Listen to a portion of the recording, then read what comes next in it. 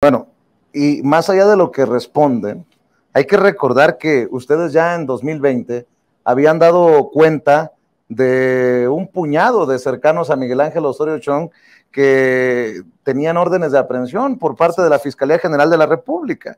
Mencionabas el caso de esta persona, Frida Martínez Zamora, pero en realidad eh, se habla de hasta 19 del círculo cercano de Miguel Ángel Osorio Chong. La Fiscalía General de la República presentó un escrito ante un juez de control y la fecha es 8 de agosto de 2020, eh, con sede en Almoloya de Juárez, Estado de México, en el que le solicita girar órdenes de aprehensión contra gran parte del círculo cercano del priista Miguel Ángel Osorio, Osorio Chong, exsecretario de Gobernación en el sexenio pasado, incluidos Jesús Horta Martínez y Frida Martínez Zamora.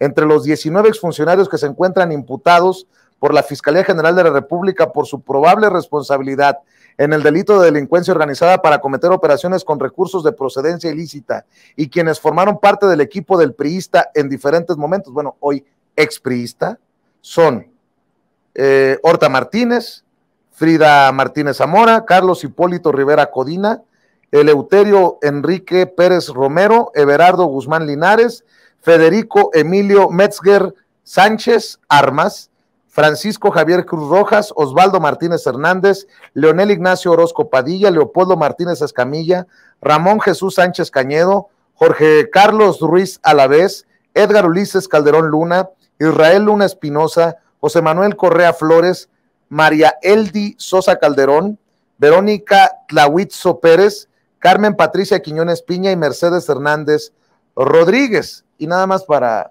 eh, seguir escuchando tus comentarios, decir que la cercanía de Osorio Chón con Horta Martínez se remonta al sexenio pasado, cuando el segundo se desempeñó como director general en el Secretariado Ejecutivo del Sistema Nacional de Seguridad Pública y como secretario general en la Administración de Recursos de la Policía Federal. Policía Federal, contratos con empresas relacionadas a García Luna. Me suena que todos, todos están eh, sumamente vinculados. tejidos, ¿no? Pero además, si te das cuenta, estamos hablando de panistas y peristas entrelazados. Son, como ha dicho el presidente Vicente, son exactamente lo mismo. Cuando se trata de desviar dinero público, no les importa de qué partido son. Ellos entregan contratos, no cumplen con los contratos, violentan la normatividad, eh, le ponen sobreprecios. Hay bienes y servicios que no tienen justificación, no hay comprobantes de que se hicieron. No hay, no hay nada que pruebe que se llevó a cabo ese bien o ese servicio o que se, se compraron productos ya sean eh, tecnológicos, no hay pruebas de ello. Debo admitir que conociendo la historia de apuñalamientos, traiciones en el PRI, al interior del PRI, entre amigos, no se haya hablado esto antes o, o, se haya sacado entre priistas esto. ¿Y por qué no los medios tradicionales en estas entrevistas, porque Osorio está en una pasarela en este momento.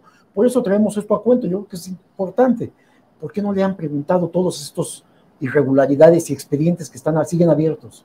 Siguen abiertos, Vicente. yo, yo tengo una, yo, tengo, yo tengo una posible respuesta porque soy muy mal pensado. Soy más mal pensado que tú, Miguel Vadillo. Porque también decías que había miles de millones de pesos en contratos de publicidad a medios en los que había metido la mano eh, la Secretaría de Gobernación de Miguel Ángel Osorio Chong, autorizando. autorizando esto por encima del presupuesto aprobado para ese rubro. o sea, que no se nos olvide que se gastaron miles de millones. Hasta lo de la abuelita en medios de comunicación en el sexenio además de los 10 mil millones, en el caso de Peña Nieto, por ejemplo, eran 10 mil millones de pesos por año. Fueron 60 mil, poco más de 60 mil millones en el sexenio. Pero además de ese dinero, hubo sobre ejercicios. O sea, se dio, se, hizo contratos, se dieron contratos más allá de ese propio presupuesto. Y eso lo aprobó. contratos que no se pudieron pagar, lo aprobaba Gobernación por instrucción de la Presidencia de la República, de Los Pinos.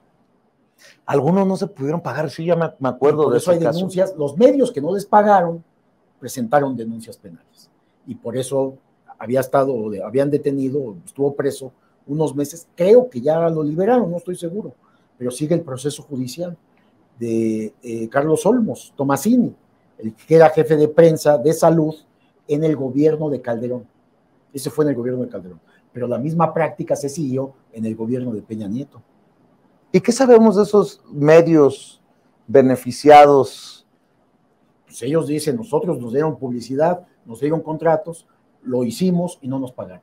Pues ellos dicen, devuélvanme, páguenme lo que, el trabajo que ya hicimos mm. o lo que ya publicitamos. Este, serán pues compromisos de los grupos de poder político en la presidencia con medios de comunicación. ¿Para qué, Vicente? Pues para que hablaran bien de ellos, para que atacaran a la oposición. De ahí que López Obrador ha vivido, vivió 18 años perseguido, acusado, difamado, este, porque los medios pues estaban con los grupos que estaban en el poder en ese momento, que eran panistas y priistas.